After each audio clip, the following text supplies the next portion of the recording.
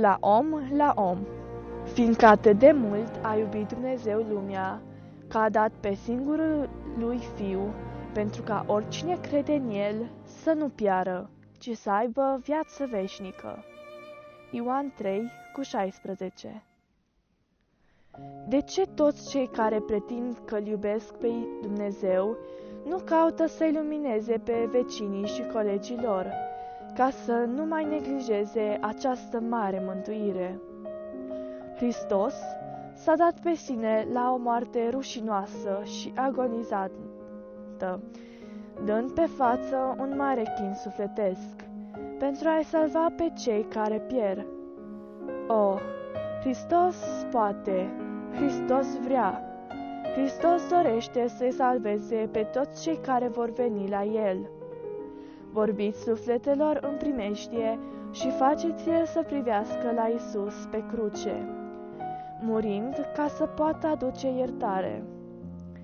Adresați-vă celui păcătos, având inima plină de iubirea duioasă și îndurătoare a Domnului Hristos. Să existe o seriozitate profundă, dar să nu se audă vreun ton aspru și strident de la acela care încearcă să câștige sufletele ca să privească la Isus și să trăiască. În primul rând, sufletul tău să fie consacrat lui Dumnezeu. În timp ce privești la mișlocitorul tău din cer, inima să-ți fie zdrobită. Apoi, înduioșat și supus, te poți adresa păcătoșilor care se pucăiesc, ca unul care îți dai seama de puterea iubirii răscumpărătoare. Roagă-te cu aceste suflete, aducându-le prin credință la piciorul crucii. Îndreaptă-le gândul și ochiul credinței la Isus, purtătorul de păcat.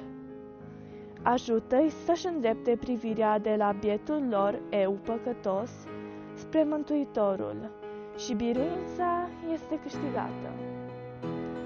Ei privesc personal la mielul lui Dumnezeu, care ridică păcatul lumii. Ei văd calea, adevărul și viața. Soarele neprihănirii își revarsă razele strălucitoare în inimă Fluxul bogat al iubirii răscumpărătoare curge în sufletul ars și însetat și păcătosul este salvat pentru Isus. Hristos răstignit să fie tema cântărilor, discuțiilor și rugăciunilor. Aceasta va zdrobi și va câștiga inimi. Aceasta este puterea și înțelepciunea lui Dumnezeu de a duce sufletele la Hristos.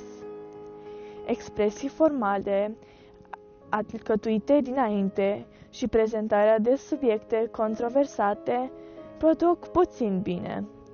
Dragostea copleșitoare a lui Hristos în inimile lucrătorilor va fi recunoscută de cei pentru care lucrează. Sufletele însetează după apa vieții.